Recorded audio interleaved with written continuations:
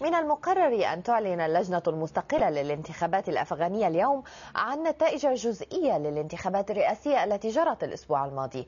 يأتي هذا في وقت يتبادل فيه المرشحون الرئيسيون الاتهامات بالتلاعب بأصوات الناخبين فيما أعلن عدد منهم فوزه في هذه الانتخابات.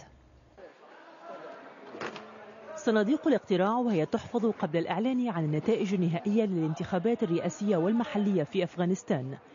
كل ذلك يدور في وقت تتزايد الاتهامات بين المتنافسين الرئيسيين حامد كرزاي وعبد الله عبد الله بحدوث عملية تزوير.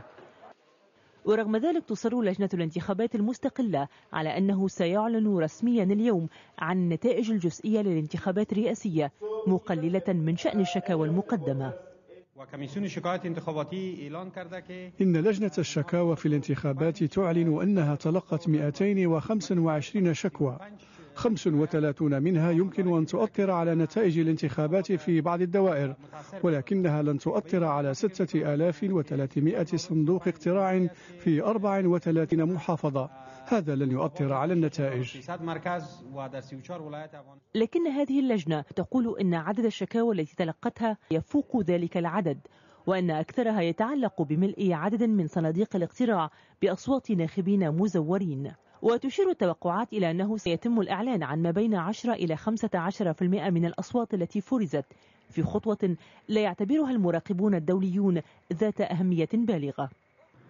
في هذه الأثناء حث مبعوث الأمم المتحدة إلى أفغانستان الناخبين والمترشحين على حد سواء بالتحلي بالصبر.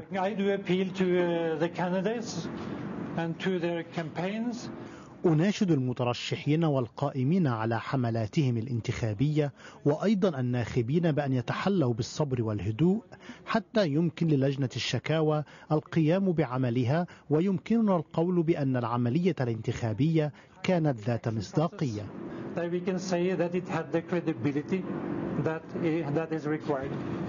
ووسط تبادل الاتهامات لا يزال مؤيد الرئيس حمد كرزاي يصرون على أنه حصل على أكثر من 50% من الأصوات. وهي النسبة التي تخول له البقاء في منصبه لولاية ثانية.